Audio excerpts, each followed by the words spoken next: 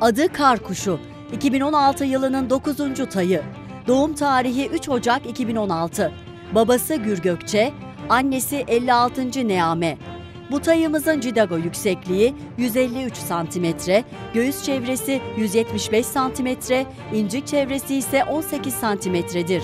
Bu tayımız 2 yaşında al dişi tay olup Savaşer, Ünal amca, Göktuna, Adam, Huysuz, Nilsu ve Vardarlı isimli taylarla anadan kardeştir.